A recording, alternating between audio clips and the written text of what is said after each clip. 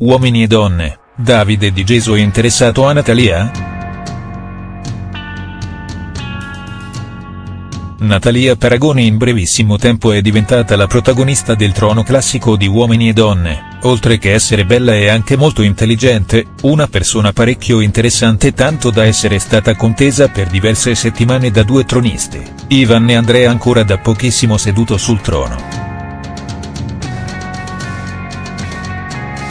La ragazza come ricorderete decise di andare via dal castello sotto consiglio di Ivan che in modo dolce e capino le fece notare di essere probabilmente più interessata a conoscere Andrea Zeletta, da lì ha iniziato il suo secondo percorso che adesso tra alti e bassi prosegue più o meno bene. Le discussioni con Andrea e il commento di Davide.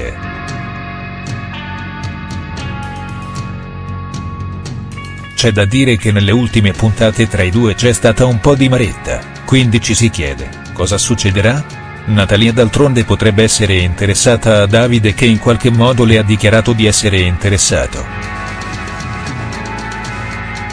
Ad ogni modo qualcuno penserà che finalmente per lei è arrivata la calma, in realtà non è così perché continua ad essere tuttora al centro delle polemiche, stavolta però non per causa sua. Il corteggiatore di Angela Nasti, Davide Di Geso, le ha commentato una foto su Instagram scrivendo è la più bella in quello studio e... Le sue parole hanno lasciato tutti a bocca aperta, soprattutto perché il ragazzo è impegnato a corteggiare Angela e sappiamo tutti, lui compreso che la ragazza non reagirà affatto bene. Maschi e femmine non si incrociano nemmeno.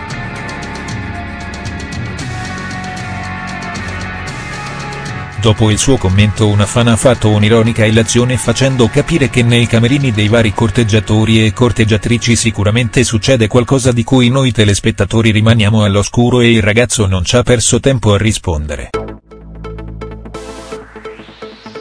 Davide ha spiegato che i maschi e le femmine non si incrociano nemmeno, tutto questo perché in passato ci sono state gravidanze inaspettate quindi adesso per evitare sono stati separati.